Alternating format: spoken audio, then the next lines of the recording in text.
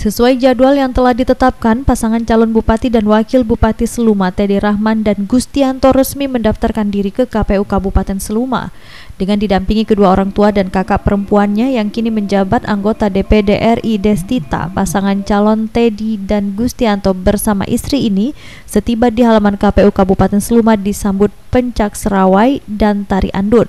Sebelum disambut Sekretaris KPU dan para komisioner KPU Kabupaten Seluma ke ruang aula KPU Kabupaten Seluma untuk menyerahkan berkas dokumen pendaftaran. Usai penyerahan dokumen, pasangan calon bupati dan wakil bupati Teddy Rahman dan Gustianto langsung mendeklarasikan diri untuk memenangkan pilkada tahun ini setelah mendapatkan B1 KWK dari lima parpol pendukung dan pengusung, yakni Partai Nasdem, PDIP, Perindo, Demokrat, dan PAN dengan jumlah 11 kursi di DPRD Seluma. Tadi di dalam semua persyaratan pendaftaran B1 KWK dari partai pengusung Alhamdulillah sudah diterima dengan baik.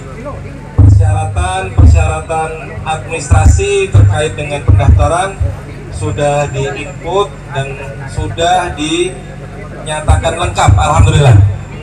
Kemudian pemberitahuan selanjutnya tahapan selanjutnya setelah pendaftaran ini insya Allah besok pagi kandidat kami berdua akan melakukan tes kesehatan. Bahwa niat Pak Teddy ini datang ke sini betul-betul nak bangun Kabupaten Sumai ini. Dan kemudian partai pendukung sekali lagi terima kasih ya.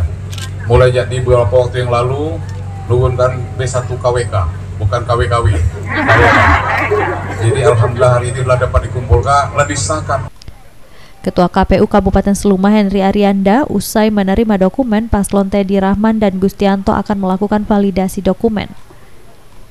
Kalau untuk hari ini pasangan Pak Teddy dan untuk Pak Gustianto alhamdulillah tadi kita sudah diterima kita lakukan verifikasi melalui verifikasi simbol dari dokumen yang ada uh, dinyatakan lengkap dinyatakan lengkap Nah, untuk selanjutnya tentu ada verifikasi administrasi terkait dengan validasi dokumen. Nah, ini kita lakukan sampai tanggal 4. Sampai tanggal 4 September. Sementara itu, usai pendaftaran paslon bupati dijadwalkan menjalani pemeriksaan kesehatan di Rumah Sakit M Yunus Kota Bengkulu dan pemeriksaan psikologi di RSKO Bengkulu.